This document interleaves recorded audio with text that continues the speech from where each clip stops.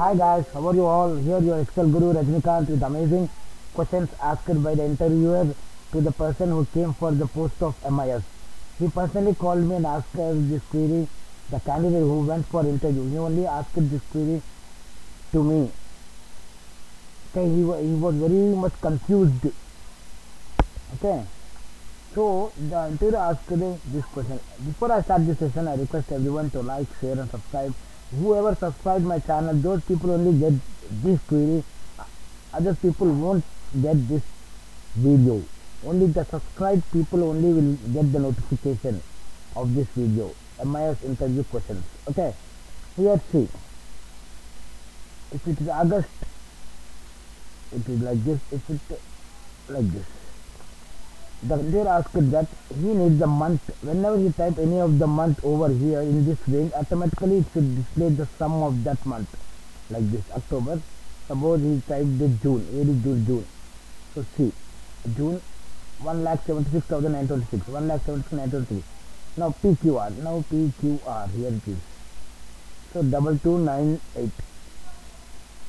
Uh, pqr where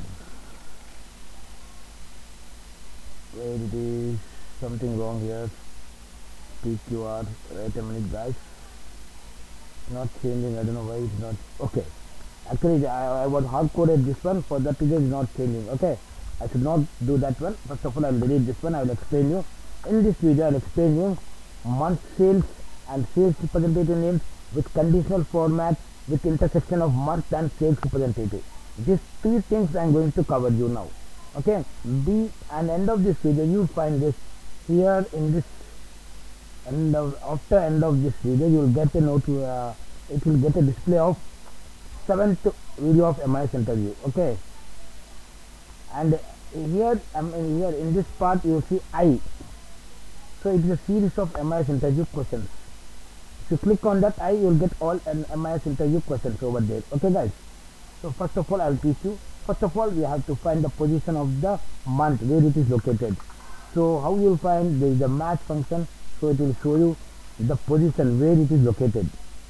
Okay first June comma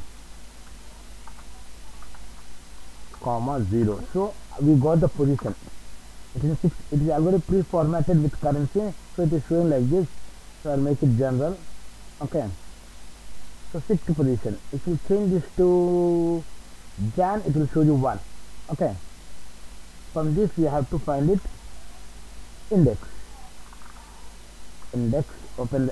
We find we find it out the column position but we doesn't we do- doesn't find the row position. So index. Index is a two two way lookup value comma 0 I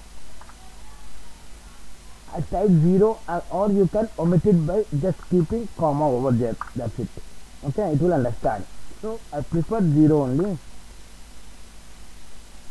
Whenever it matches the index will understand. Whenever it matches this jan so index will understand. So we have to extract this value records only.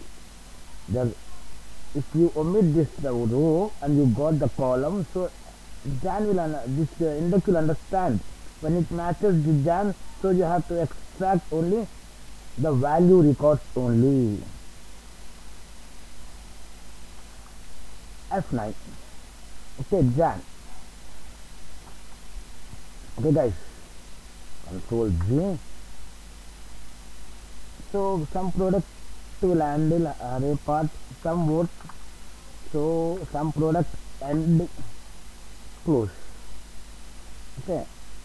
I think I kept extra some there something wrong I think so. Let's check. Right everything is right. Control enter control shift to 4 alt h9 to decrease the decimals. So here also the same. Index. Now same like that this one. And here we know the match. But we doesn't know the column. So you have to omit the column. So excel will understand that you need the whenever you matched the df value whenever you match the df value it has to extract the only df value. Okay guys. Let's check BGF F9 See this 24 lost double 282 double 282 control Z some product. Here you have to find SUMPRODUCT. And close parenthesis okay. It is pre-formatted by currency. If you want you can check it. I will give you the ABC ABC now check it. 2 lakhs 41,838 okay now I will do conditional format for this. Okay. Alt HLN